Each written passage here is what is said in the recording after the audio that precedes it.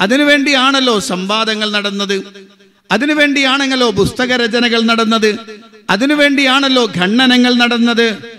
ഇങ്ങനെ ധാരാളം വിഷയങ്ങൾ നടന്നിട്ടുണ്ടല്ലോ. അപ്പൊ ഒരു വാദം അവിടെ ഉണ്ടായിരുന്നല്ലോ. എന്തായിരുന്നു ആ വാദം? ഏയ് അതൊന്നും ഇപ്പൊ ചർച്ച ചെയ്യാൻ പറ്റൂല. ഇത്രയും വലിയൊരു ഗതികേടിലേക്ക് ഒരു സമൂഹം എത്തിപ്പെട്ടത് വർത്തമാനകാല സാഹചര്യത്തിൽ ആ സമൂഹത്തിന്റെ പതിതമായ അവസ്ഥയെ നമുക്ക് ബോധ്യപ്പെടുത്തി തരുന്നതാണ്. ഒരാൾ പോലും മിണ്ടണില്ല. യഥാർത്ഥത്തിൽ ഞാനൊരു കെ എൻ എം പ്രവർത്തകനാണ്. ഞാൻ എന്തുകൊണ്ട് ഇവിടെ ഈ ചോദ്യം ചോദിക്കുന്നു എന്ന് വെച്ചാൽ ഒരു മാസം മുമ്പ് ഫൈസൽ മുസ്ലിയാർ ഇവിടെ പടന്ന ഭാഗത്ത് ഒരു മുഖാമുഖം വന്നു. ഞാൻ അന്ന് ഈ ചോദ്യം ചോദിക്കാൻ വേണ്ടി പോകേണ്ടതാണ്. അപ്പം ഞാൻ പഠനയിലുള്ള ഒരു സഹോദരനോട് വിളിച്ചു ചോദിച്ചു ഞാൻ വരട്ടെ? അവർ ചോദിക്കാൻ സമ്മതിക്കുമോ അപ്പോൾ അദ്ദേഹം പറഞ്ഞു ഞാൻ അവരെ കമ്മിറ്റി ഭാരവാഹികൾ ബന്ധപ്പെട്ടു. അവർ ജിന്നി വിഷയം ചോദിക്കാൻ സമ്മതിക്കില്ല. അതുകൊണ്ടാണ് ഞാൻ ആ ചോദ്യം ഇവിടെ ചോദിക്കുന്നത്. അതായത് എന്റെ ഒരു ചോദ്യം നമ്മൾ ഇസ്ലാമിക പ്രമാണങ്ങൾ പരിശോധിച്ചാൽ ഇസ്ലാം പല കാര്യങ്ങളും ഹറാമാക്കിയിട്ടുണ്ട്. ആ സംഭവങ്ങളൊക്കെ ചെയ്തിട്ട് ഹറാമായ സംഭവത്തിന് തെളിവുണ്ടാവും. ഉദാഹരണം കൊലപാതകം ഹറാമാണ്. ആ തന്നെ വീട് മകൻ കൊലപാതകം നടത്തിയിട്ടുണ്ട്. ഇപ്പോൾ വ്യഭിചാരം ഹറാമാണ്. അത് വ്യഭിചാരിച്ച് അത് ഹറാമായ സംഭവത്തിന് തെളിവുണ്ടാവും. അതേപോലെ മോഷണം പരദൂഷണം അങ്ങനെ ഏത് നോക്കിക്കഴിഞ്ഞാലും അത് ഹറാമാണ് എന്നതിനും തെളിവുണ്ടാകും. അതേപോലെ തന്നെ ആ സംഭവം നടന്നിട്ട് ഹറാമായ സംഭവത്തിന് തെളിവുണ്ടാവും അപ്പോൾ ഇവർ പറയുന്നത് ജിന്നിനോട് ഒരാൾ വിജനപ്രദേശത്ത് ഞാനിത് ഫൗസൽ മുസ്ലിമാരോട് ചോദിക്കേണ്ട ചോദ്യമാണ്. പക്ഷെ അവർ ചോദിക്കാൻ സമ്മതിക്കുന്നില്ല. അതുകൊണ്ടാണ് ഇവിടെ ചോദിക്കുന്നത്. അപ്പോൾ നിങ്ങളൊന്ന് വിശദീകരിച്ചാൽ മതി. അതായത് ജിന്നിനോട് നമ്മൾ സഹായം ചോദിച്ചാൽ അത് വസീരത് ഷിർക്കാന്ന് എന്തുകൊണ്ടാണ്? ജിന്ന് വന്ന് നമുക്ക് ഉത്തരം ചെയ്യും. എന്നിട്ട് നമ്മൾ ഷിർക്കിലേക്ക് കൊണ്ടുപോകും. അതായത് ചോദിച്ച നിലവിലുള്ള ചോദ്യം ഷിർക്കായിട്ടില്ല അതിന് ഭാവിയിൽ അവർ ഷിർക്കിലേക്ക് കൊണ്ടുപോകും എന്നാണ് ഇവരെ കണ്ടുപിടിച്ചത്. അപ്പോൾ അതൊരു ഹറാമാണ്. അങ്ങനെയാണെങ്കിൽ ആദം നബി അലൈഹി സ്വലാം മുതൽ മുഹമ്മദ് നബി സല്ലാസ്ലുള്ള പ്രമാണം നമ്മുടെ കയ്യിലുണ്ട്. എവിടെയെങ്കിലും ഇങ്ങനെ ഒരു മനുഷ്യൻ ഒരു ഹറാമ് ചെയ്തു. അതായത് വസീലത് ഷിർക്ക് ഹറാമാണെന്നുള്ള ഇവർ പറയുന്നത്. അങ്ങനെ ചെയ്തിട്ട് അവനെ ഷിർക്കിലേക്ക് ജിന്ന് വന്ന് കൊണ്ടുപോയി. ഇങ്ങനെ ഒരു സംഭവത്തിന്. ഇപ്പൊ ദുർ അങ്ങനെ ചെയ്യാമെന്നുള്ള ഇപ്പൊ സംസ്ഥക്കാർക്കും വേണമെങ്കിൽ അവരുടെ പ്രാർത്ഥനയുടെ വിഷയത്തിൽ പിന്നെ ദുർവ്യാഖ്യാനിക്കാം. സഹായികളാണെന്ന് ഖുറാൻ പറഞ്ഞിട്ടുണ്ട്. പക്ഷെ അങ്ങനെ സഹായിച്ചതിന് തെളിവുണ്ടോ വെച്ചാൽ സംസ്ഥക്കാർക്ക് കൊണ്ടുവരാൻ പറ്റില്ല. അതായത് മരിച്ചുപോയ മനുഷ്യന്മാർ ദുനിയാവിലെ സഹായിച്ചിട്ടുണ്ടോ വെച്ചാൽ തെളിവ് കൊണ്ടുവരാൻ പറ്റില്ല അപ്പൊ ദുർവ്യാഖ്യാനിക്കാം. അതാണ് ഇവർ അന്നാം നൂറ്റിരുപത്തെട്ട് ദുർവ്യാഖ്യാനിച്ചത്. അപ്പോൾ നമുക്ക് അവരോട് ചോദിക്കാനുള്ളത് നിങ്ങൾ ഇവിടുന്ന് പറഞ്ഞാലും മതി. അതായത് നിങ്ങൾ പറയുന്നത് വസീരത്ത് ചുരുക്കിയ തെളിവാണ് അന്നാം നൂറ്റി ഇരുപത്തെട്ട് ഓക്കെ. ഹറാമാണ് അങ്ങനെയാണെങ്കിൽ അങ്ങനെ ഒരു ഹറാമ് നടന്നതും ഖുറാനിലോ ഹദീസിലോ തെളിവാണല്ലോ. അത് നബി മുതൽ നബി ഏതെങ്കിലും ജനങ്ങൾ ഇതുപോലെ ജിന്നിനോട് സഹായം ചോദിച്ചു. എന്നിട്ട് പിശാജി പ്രത്യക്ഷപ്പെട്ട് അവനെ ഷിർക്കിലേക്ക് കൊണ്ട് ഇങ്ങനെ ഒരു സംഭവത്തിന് തെളിവ് പറയാൻ പറ്റുമോ? അങ്ങനെ വല്ല സംഭവം നിങ്ങളുടെ അറിവിൽ നിങ്ങൾക്ക് ഉദ്ധരിക്കാൻ വേണ്ടി പറ്റുമോ? ഇവർ പറഞ്ഞതിന്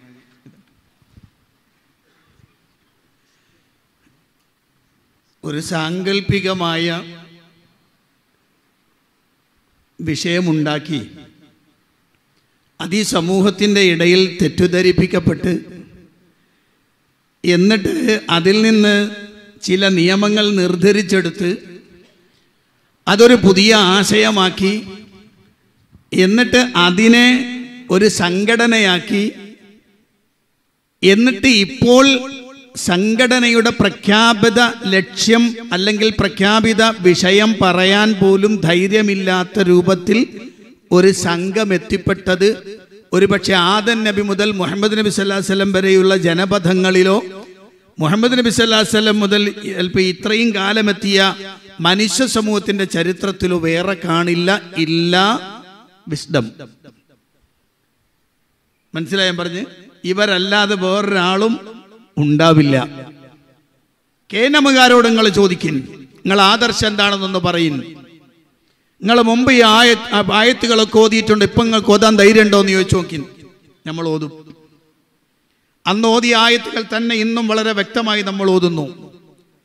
അന്ന് പറഞ്ഞ ആദർശത്തിൽ വളരെ കൃത്യമായി തന്നെ ഇന്നും പറയുന്നു. എന്നാൽ ഈ വിസ്ഡം ചിഹ്നവാദികളായ ആളുകളോട് ചോദിച്ചു നോക്ക് നിങ്ങൾ. അല്ല നിങ്ങളെ ജിന്നവാദ ഏ ഞങ്ങളതൊക്കെ പെട്ടുക്കണ്. ഞങ്ങൾക്ക് അങ്ങനത്തെ ഒരു വാദമില്ലാതെ ഞങ്ങൾ അങ്ങനത്തെ ഒരു വാദത്തിന്റെ ആളുകൾ അല്ല. പിന്നെ ആരായിരുന്നു ഈ വാദത്തിന്റെ ആളുകൾ? അതും കൂടെ ഒന്ന് പറയണമല്ലോ. ന്യൂ ജനറേഷൻ ആളുകളോട് പറയണല്ലോ ഈ വാദത്തിന്റെ ആളുകൾ ആരായിരുന്നു എല്ലാവരും ഇപ്പൊ ദൈവത്തിന്റെ പണിയിലാണ് ധാരാളമായിട്ട് പോകുന്നെന്നാ പറയാം. ആയിക്കോട്ടെ ആ ദഴവയിൽ തന്നെ ഒരു പ്രധാനപ്പെട്ട വിഷയമായിരുന്നല്ലോ ജിന്നുവാദവുമായി ബന്ധപ്പെട്ട പരാമർശങ്ങൾ. അതിനുവേണ്ടിയാണല്ലോ സംവാദങ്ങൾ നടന്നത്. പുസ്തക രചനകൾ നടന്നത്. അതിനുവേണ്ടിയാണല്ലോ ഖണ്ഡനങ്ങൾ നടന്നത്. ഇങ്ങനെ ധാരാളം വിഷയങ്ങൾ നടന്നിട്ടുണ്ടല്ലോ. അപ്പൊ ഒരു വാദം അവിടെ ഉണ്ടായിരുന്നല്ലോ. എന്തായിരുന്നു ആ വാദം? ഏയ് അതൊന്നും ഇപ്പൊ ചർച്ച ചെയ്യാൻ പറ്റൂല. ഇത്രയും വലിയൊരു ഗതികേടിലേക്ക് ഒരു സമൂഹം എത്തിപ്പെട്ടത് വർത്തമാനകാല സാഹചര്യത്തിൽ ആ സമൂഹത്തിന്റെ പതിതമായ അവസ്ഥയെ നമുക്ക് ബോധ്യപ്പെടുത്തി തരുന്നതാണ്. ഒരാൾ പോലും മുണ്ടണില്ല. ഒരാൾ പോലും മുണ്ടണില്ല.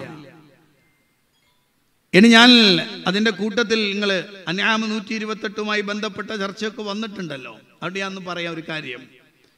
നിങ്ങൾ ശ്രദ്ധിച്ചു നോക്ക് പരിശുദ്ധ ഖുർആൻ. ഖുർആാനിന്റെ ആയത്ത് ദുർവ്യാഖ്യാനിച്ചു. എന്തിനാണ്? വസീലത്ത് ഷിർക്കാണ് എന്ത്? ജിന്നിനോടുള്ള സഹായത്തേട്ട കാഫിർ ജിന്നിനോടുള്ള സഹായത്തേട്ട ഷിർക്കാണ് കാഫിർ ജിന്നിനോടുള്ള സഹായത്തേട്ടം ഷിർക്കാണ് മുസ്ലിം ജിന്നാകുമ്പോൾ ശീലത്തു ഷിർക്ക് എന്താണ് അതിന്റെ മാനദണ്ഡം? ഒന്ന് ഷിർക്കാകുന്നതും ഒന്ന് ഷിർക്കല്ലാതാകാതിരിക്കണ മാനദണ്ഡം എന്താ? അത് കാഫിർ മുസ്ലിമുമായതാണോ? അങ്ങനെ ഒരു മാനദണ്ഡം ഉണ്ടോ ഇസ്ലാമിൽ? ആരാണ് ആ മാനദണ്ഡം വെച്ചത്? ഇനി അന്യാമ നൂറ്റി ഇരുപത്തെട്ട് ആയത്തിന്റെ അർത്ഥം അതാണോ? ആശയം അതാണോ? നിങ്ങൾ പരിശോധിച്ച് നോക്കി. ഞാനൊരു കായിക പെട്ടെന്ന് പറയാം. പരിശുദ്ധ ഖുർആൻ ഖുർആാനിനെ വിശദീകരിക്കേണ്ടത് ആരാണ്? ആരാണ് വിശദീകരിക്കേണ്ടത്? അള്ളാഹു ആണ് അള്ളാഹുവാണ് വിശദീകരിക്കേണ്ടത്. അല്ലേ?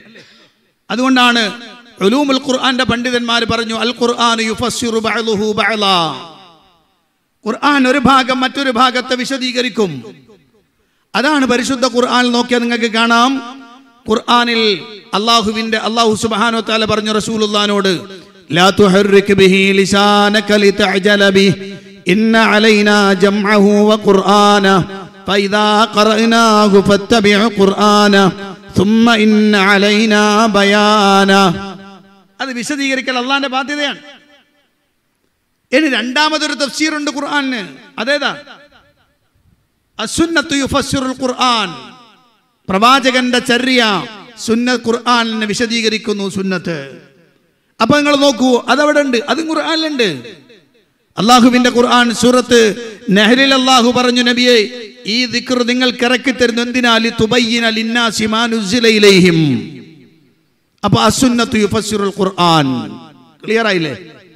ഈ രണ്ട് വ്യാഖ്യാനങ്ങളെ മുന്നിൽ വെക്കുങ്ങൾ എന്നിട്ട് സൂറത്ത് അൻആമിന്റെ നൂറ്റി ഇരുപത്തി എട്ടാമത്തെ ആയത്തെടുക്ക് ഈ ആയത്തിൽ പരാമർശിക്കപ്പെട്ട വിഷയം അത് വസീലത്തു ശിർക്ക് മാത്രമാണ്. അതല്ലാത്തതൊന്ന് അതിലില്ല. അല്ലെങ്കിൽ വസീലത്തു ഷിർക്കിന് തെളിവായിട്ടാണ് ആ ആയത്തുള്ളത്.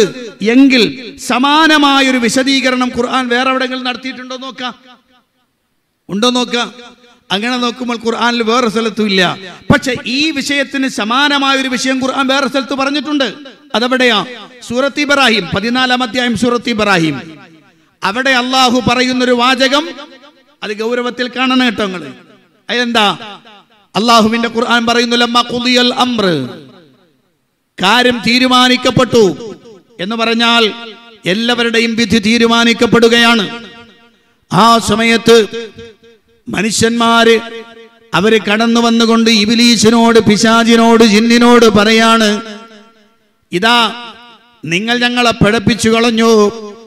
നിങ്ങൾ ഞങ്ങളെ പിഴപ്പിച്ചു നിങ്ങൾ കാരണമാണ് സംഭവിച്ചത്. ഈ വിഷയം പറയുമ്പോൾ പിശാജ് പറയുന്നൊരു വാചകമുണ്ട്. നിങ്ങൾ എന്നെ ആക്ഷേപിക്കണ്ട. നിങ്ങൾ നിങ്ങളെ തന്നെ ആക്ഷേപിച്ചോളൂ. എന്നിട്ട് പറയുന്ന കാണാം ഞാൻ നിങ്ങളെ ക്ഷണിച്ചു. നിങ്ങൾ എനിക്ക് ഉത്തരം നൽകി. പക്ഷേ എനിക്ക് നിങ്ങളുടെ മേൽ ഒരാധിപത്യവും ഉണ്ടായിരുന്നില്ല. ഞാൻ നിങ്ങളെ നിർബന്ധിച്ച് ചങ്ങലക്കിട്ട് വലിച്ചു കൊണ്ടുവന്നതൊന്നുമല്ല ഞാൻ നിങ്ങളെ ക്ഷണിച്ചു നിങ്ങൾ എനിക്ക് ഉത്തരം നൽകി. എനിക്ക് നിങ്ങളുടെ മേൽ ഒരു- ഒരധികാരവും ഉണ്ടായിരുന്നില്ല. അതുകൊണ്ട് തന്നെ ഇന്ന് നമ്മൾ ക്ഷമിക്കലും ക്ഷമിക്കാതിരിക്കലും ഒക്കെ സമമാണ്. ഇവിടുന്ന് രക്ഷപ്പെടാൻ യാതൊരു സങ്കേതവുമില്ല. സൂറത്ത് അൻആം എന്താണോ പറഞ്ഞത്? അതിന്റെ ഫുൾ വിശദീകരണമാണ് ഇവിടെ. സൂറത്ത് ഇബ്രാഹിമിന്റെ വാചകം.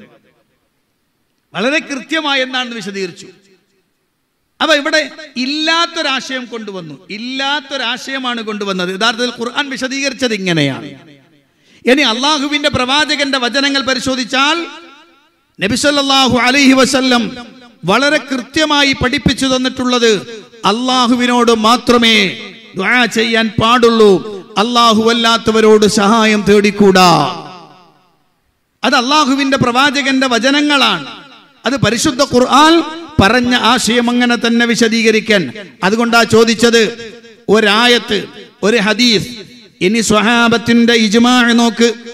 സ്വഹാബികളുടെ ഇജ്മാ അവരുടെ ജീവിതത്തിൽ ഒരിക്കൽ പോലും അവർ ഏ വിജന പ്രദേശത്താവട്ടെ സ്വജന പ്രദേശത്താവട്ടെ ഏത് സന്ദർഭത്തിലാവട്ടെ അള്ളാഹു അല്ലാത്തവരോട് അവർ യാതൊരു വിധ തേട്ടവും നടത്തിയിട്ടില്ല.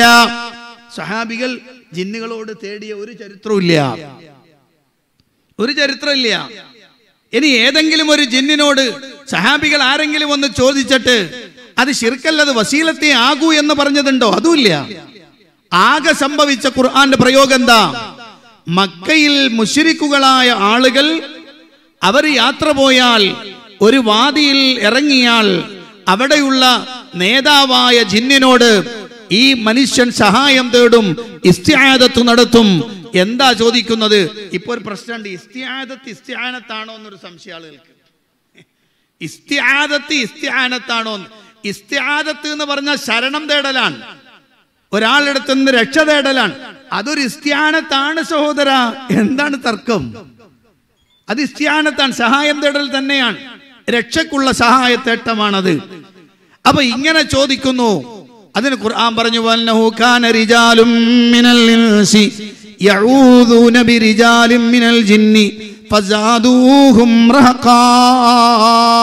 ഖുർആൻ പറയാണ്. അങ്ങനെ ഒരു സംഭവം ഉണ്ടായിട്ടുണ്ട്. അതിന് ഖുർആൻ പറഞ്ഞത് അത് ശിർക്കാണ് എന്നാണ്. അത് ശിർക്കാണ് എന്ന. വസീലത്ത് ശിർക്കാണ് എന്നൊരു സംഗതിയെ അവിടെ ഇല്ല. രണ്ടാമത്തത് ഒരു പിശാചിനോട് ഒരു മനുഷ്യൻ സഹായം തേടി. അപ്പൊ അയാൾ എന്ത് ചെയ്തു? ഒരു സഹായം ചെയ്തു കൊടുത്തു. പിന്നെയും അയാൾ ചോദിച്ചു അപ്പോഴും ഒരു സഹായം ചെയ്തു കൊടുത്തു. ഇങ്ങനെ ഇങ്ങനെ ഇങ്ങനെ പടിപടിയായി ഇവൻ അവനെ ശിർക്കിൽ കൊണ്ടെത്തിച്ചു. ഏ? ഇങ്ങനെയാണോ ഇങ്ങനെയാണോ മനുഷ്യന്മാര് മനസ്സിലാക്കി വെക്കേണ്ടത്? അതുകൊണ്ട് ആദ്യത്തെ ചോദ്യം എന്താണ്? വസീലത്തു ശിർക്ക്. രണ്ടാമത്തെ ചോദ്യം വസീലത്തു ശിർക്ക്. മൂന്നാമത്തെ ചോദ്യം ഷിർക്ക് മനസ്സിലായോ? രണ്ട് ചോദ്യം ചോദിച്ചപ്പോ സഹായം കിട്ടിയത് കൊണ്ട് ഇവൻ എന്ത് ചെയ്തു? മൂന്നാമത്തത് അങ്ങനെ എങ്ങനെയാണ് ഇതൊക്കെ മാനദണ്ഡമാക്കി കൊണ്ടുവരുന്നത് മനസ്സിലാവുന്നില്ല. എന്ത് ക്രൈറ്റീരിയ ആണ് ഉപയോഗിക്കുന്നതിന്? മാത്രമല്ല പ്രിയപ്പെട്ടവരെ ഇങ്ങനെ ഒരു സംഭവം ലോകത്ത് എവിടെങ്കിലും സംഭവിച്ചിട്ടുണ്ടോ? മനുഷ്യനെ പടിപടിയായി പിശാജ് ശിർക്കിൽ മനുഷ്യനെ കൊണ്ടുപോയി അബദ്ധത്തിൽ ചാടിക്കുമെന്നുണ്ട്. അത് ശരി തന്നെയാണ്. മനുഷ്യന്മാർ അബദ്ധത്തിൽ ചാടിക്കും. അതേ സമയത്ത് പിശാജിനോട് ആദ്യ സഹായം തേടി ചെറുക്കല്ല പുറത്തു പോയിട്ടില്ല. രണ്ടാമത് തേടി പുറത്തു പോയിട്ടില്ല. മൂന്നാമത് തേടി പുറത്തുപോയി അതിന്താ? രണ്ട് പ്രാവശ്യം കൊണ്ട് ഇവനെ എന്ത് ചെയ്തു? അവൻ അവിടെ എത്തിച്ചു. എന്ത് വർത്താനാണ് ഈ പറയുന്നത് അവിടെയാണ് ഞാൻ പറഞ്ഞു നേരത്തെ മറുപടി ഞാൻ പറഞ്ഞ വാചകം. എന്ത്? ബസീലത്തു ശിർക്കെന്ന വർത്താനം തന്നെ പണ്ഡിതന്മാർ പറയണില്ല. വീട്ടിലുള്ള ജിന്നെ എന്നെ നാളെ രാവിലെ നാലു മണിക്കൊന്ന് വിളിക്കണേ. എന്ന് ഫസ്റ്റ് വർത്തമാനത്തിൽ തന്നെ അവൻ എന്ത് ചെയ്തു? ഷിർക്ക് ചെയ്തു എന്ന ഇബിന് ബാസുനെ പോലെയുള്ള ആളുകൾ പറഞ്ഞത്. അല്ലാതെ ഒന്നാമത്തത് വസീലത്ത് രണ്ടാമത്തത് വസീലത്ത് മൂന്നാമത്തെ ഷിർക്ക് ഇങ്ങനത്തെ ഒരു നടപടിക്രമം ഫൈസൽ മുസ്ലിയാർ ഉണ്ടാക്കിയതായിരിക്കും. ഇനി മൂപ്പർക്ക് വേറെ എവിടെ നിന്നും കിട്ടിയ കാരണം ചില ആളുകളൊക്കെ പറഞ്ഞ മൂപ്പർ ഇൽഹാമിലൂടെ മറുപടി പറയുന്ന ആളാണെന്നൊക്കെ പറഞ്ഞിട്ടുണ്ട്. ഇനി അങ്ങനെ വല്ല ഇൽഹാമും കിട്ടിയതാണോ എന്ന് അറിയില്ല. അതുണ്ടെങ്കിൽ അത് അവിടെ വെച്ചാൽ മതി. മത സമൂഹത്തിന്റെ മുന്നിൽ അത് തെളിവാവില്ല. അത് ഷിയാക്കളുടെയും സൂഫികളുടെയും ലതുന്നിയായ അൽമവാദമാണ് ആ പ്രയോഗം എന്നതുകൂടി മനസ്സിലാക്കണം. അള്ളാഹു കാത്തുരക്ഷിക്കുമാറാവട്ടെ.